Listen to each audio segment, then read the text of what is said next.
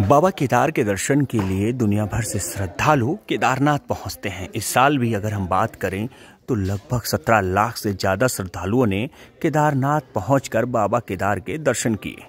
वहीं छः महीने तक जब बाबा केदार के दर्शन केदारनाथ यानी केदार घाटी में होते हैं तो बाकी के छः महीने में बाबा आखिर रहते कहाँ पर हैं? क्या कपाट बंद होने के बाद उसी के अंदर जो मंदिर है केदारनाथ में, उसी के अंदर बाबा केदार रहते हैं? ऐसे सवाल अक्सर लोगों के दिमाग में ज़रूर आते होंगे। वहीं आज हम जिस मंदिर में आपको लेकर आए हैं, ये मंदिर विराजमान है उखीमठ में। और उखीमठ में इस मंदिर की अगर बात करें तो यहाँ पर ही बाकी छः महीने के लिए, यानी कि शीतकाल के लिए बाबा केदार यहाँ पर विराजमान रहते हैं। आप में से ज़्यादातर लोगों को ज़रूर इस बात की जानकारी होगी कि छः महीने के लिए बाबा केदार यहाँ पर आकर विराजमान रहते हैं। क्योंकि जो छः महीने कपाट केदार घाटी में बंद रहते हैं, उसके बाद के छः महीने पूजा, अर्चना, यहीं इसी मंदिर में जो है बाबा केदार की होती है। आप देख सकते हैं यहाँ पर बिल्कुल उसी तरह से, जिस तरह से केदारनाथ का मंदिर है, उसी स्वरूप में ये मंदिर है। और सबसे बड़ी बात है कि इसकी विशेषता अलग है। वो व्यक्ति जो लोग शारीरिक रूप से कहें या फिर किसी वजह से केदारनाथ जाकर बाबा केदार के दर्शन नहीं कर पाते हैं, वो आकर यहाँ पर बाबा केदार के दर्शन कर सकते हैं। हर साल बड़ी संख्या में यहाँ पर श्रद्धालु पहुँचते हैं। और अगर इस मंदिर की बात करें तो ओम कारेश्वर मंदिर है ये। ओम के रूप में बाबा केदारनाथ या जो कहें बाबा शिव कहें या फिर कहें हम भोले, वो यहाँ पर विराजमान रहते हैं। पूरी जानकारी हम यहाँ पर जो पूजा अर्चना करते हैं, जो पंडित, उनसे भी लेंगे। लेकिन आप लोगों के लिए अगर आप देखें तो यहाँ पर भी आकर आप बाबा केदार के दर्शन कर सकते हैं।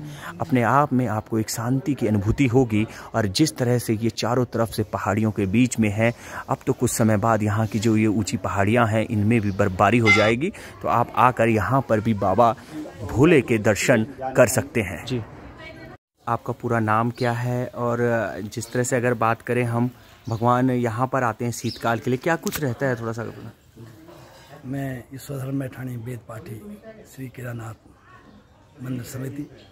ओम वंदे देवमापतिम सुरगुरुम वंदे जगत कारणम वंदे पन्नगभूषणम मृगधरम वंदे पशूनाम पतिम वंदे सूर्यशशाङ्कमण्यनयनं वंदे मुकुन्दं प्रियं वंदे भक्तिनाश्रियं च वरदं वंदे शिवं शंकरम।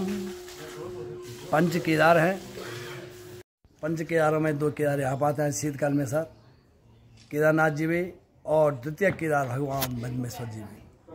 कहते हैं, केदारनाथ में बाबा केदारनाथ की पूजा छः माह नरों द्वारा की जाती है मैंने मनुष्यों द्वारा की जाती है और छः माह यक्ष और किन्नरों के द्वारा की जाती है। पौराणिक परंपराएँ हैं। आज भी उसी पौराणिक परंपरा पर चल रहे हैं। और जब बाबा केदारनाथ की वो सब डोली छः माह के लिए इस स्थान पर आ जाती है तो यहाँ पर भी काफ़ी तीर्थ यात्री दर्शन के लिए आते हैं। कहते हैं हम्म। जो व्यक्ति केदारनाथ तक नहीं पहुँच पाते हैं।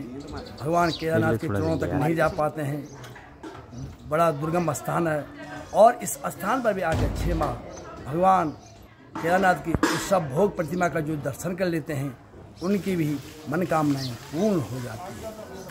तो यहाँ पर भगवान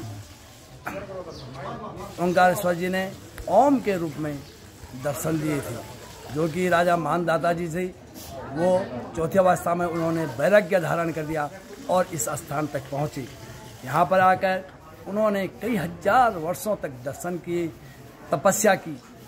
राजा मानदाता जी ने कई हज़ार वर्षों तक यहाँ पर तपस्या की।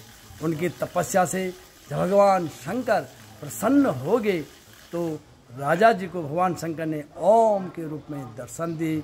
इसीलिए इस स्थान को और इस मंदिर को ओंकारेश्वर नाम के जाना जाता है। यहाँ पर भगवान कृष्ण के पुत्र प्रधुम्न और प्रधुम्न के पुत्र अनुरुद्र और बाणासुर की पुत्री उषा। उषा अनुरुद्र का भी यहाँ पर विवाह संपन्न हुआ था और उसी उषा के नाम से इस स्थान का नाम ओखा मठ कहते थे। आज इसे अभ्रंश होकर ओखी मठ कहते हैं और इसी ओखी मठ नाम से आज वह स्थान प्रचलित है। तो जो व्यक्ति, जो श्रद्धालु यहाँ पर आकर भगवान ओंकारेश्वर और द्वितीय के भगवान, शीतकाल में भगवान मदमेश्वर और केदारनाथ के दर्शन कर लेते हैं, उनकी सारी जन्म जन्मों तक की मनोकामनाएँ पूर्ण हो जाती हैं। जय श्री केदार